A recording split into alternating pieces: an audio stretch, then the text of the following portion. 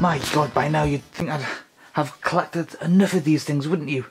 Uh, yes, as the autofocus struggles to do its job, uh, I'm going to show off another sword. Another tr wooden training sword in this case. Unlike a lot of the other ones that I've uh, bought myself recently, this is actually a bona fide, legitimate training sword. There's no bend to the blade, so to speak, but you do have quite a comfortable grip.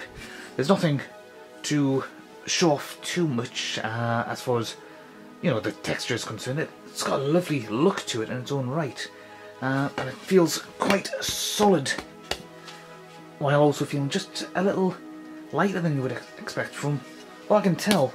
It just sort of I'm not entirely sure, but I get the feeling that it might actually be hollow on the inside. I'm not entirely sure of that, and I don't want to go and really have at it to uh, try to break and see what might be going on there. But everything is put together very, very nicely. Obviously, the disadvantages of any kind of camera is that you can't really get all the angles you'd like to look at. But this is meant as a proper training sword. You've even got a fairly hefty, decent pommel at the uh, at the rear, and a cross guard that actually looks like it could protect your hand somewhat more than any of the others that I've looked at. Now, in fairness, the majority of the others have all been either toys or just, uh, well, toys. Uh, to be brutally honest, this, on the other hand, feels like a quite legitimate uh, training aid. Something you could quite safely practice sword uh, techniques with uh, by yourself or with a sparring partner.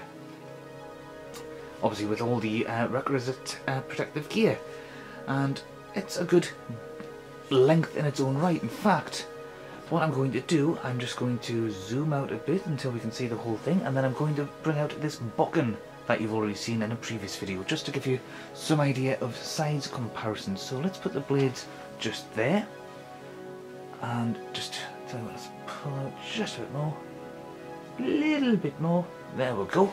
Right, so you can tell pretty much straight away the length going by the uh, by the pommels, well, not by the pommels, by the crossguard sections. They are, well, there's just a bit of difference there. There's about a hand's width, so to speak, just a bit more than that kind of distance from the tip to the handguard. And if we go by where the pommels should be, and they are roughly speaking the same sort of length. Uh, of course, the disadvantage there is that the bottom has is that the blade itself is still shorter, but it has more overall leverage here. It's meant as a two-handed sword, but there's nothing to stop you from using it one-handed. It's just it's designed to be used two-handed, and so on and so forth. As for which is better, the longer length versus shorter length, and so on and so forth, that's not something I'm going to get into. That's uh, going to depend on your own personal style of fighting and so on and so forth. There's absolutely nothing that would have stopped them from perhaps having a longer handle on this. You know, even the genuine originals probably would have had some variety there. But you can still use both hands on it quite easily just by putting your other hand on the, the bottom, on the pommel, just to help provide more power when you do stuff like that. And just to give you a little demonstration, you might have heard the clatter before.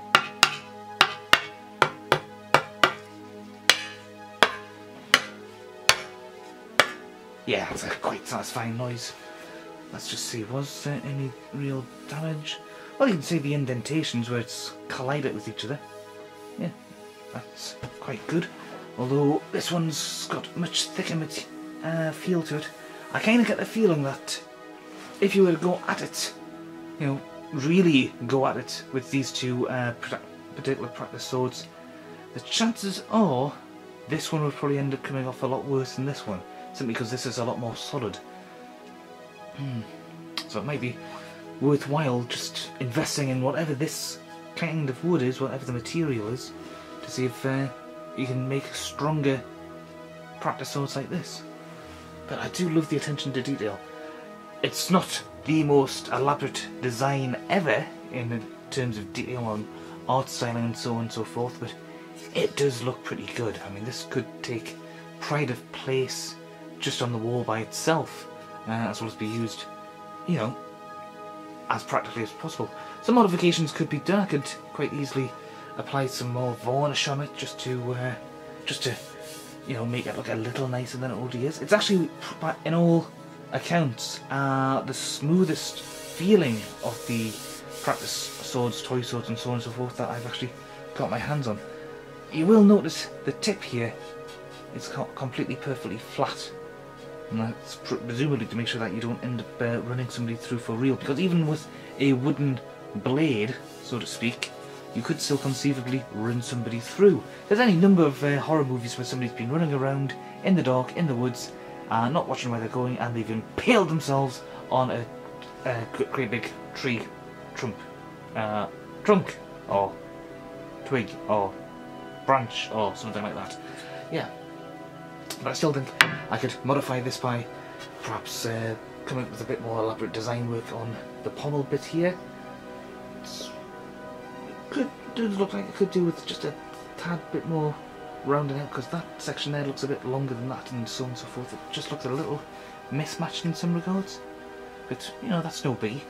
And obviously adding a leather bit here just to, you know, provide a bit more authenticity, I suppose is the word. But all in all, it's a very nice, lovely piece.